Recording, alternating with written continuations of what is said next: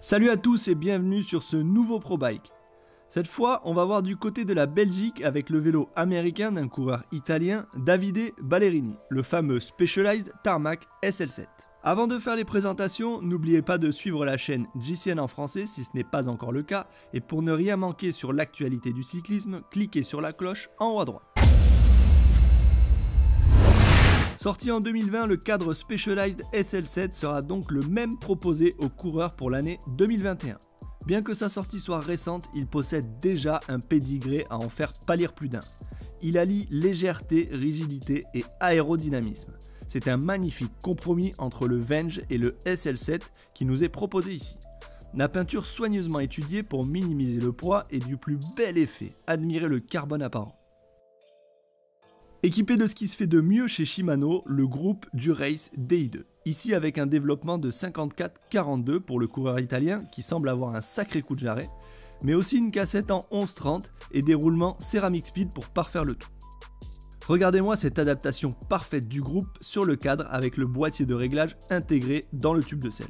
Côté roue, on retrouve les Roval Rapide CLX à pneus, en 50 mm pour l'avant et 60 pour l'arrière avec des roulements céramique speed elles aussi. Elles sont équipées de pneus S-Work Turbo Coton de 26 mm. Davide s'assoit sur une selle Specialized Romin Evo réputée pour son confort et pilote cette machine avec un cintre pro compact de 40 mm de large. La position de ces cocottes laisse perplexe les adeptes du confort, mais cela permet une meilleure accession au frein avec les mains en bas. Voyez le petit bouton à l'intérieur de celle-ci pour pouvoir tomber les dents aisément. D'un côté du cintre, on trouve une potence Specialized propre au SL7 de 120 mm.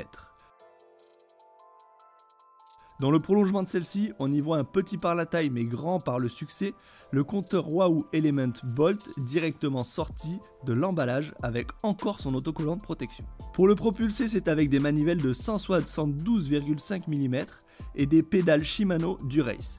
Et pour le freiner, toujours du race avec des disques en 160 mm à l'avant et 140 à l'arrière. Les portes bidons quant à eux sont des taxes carbone.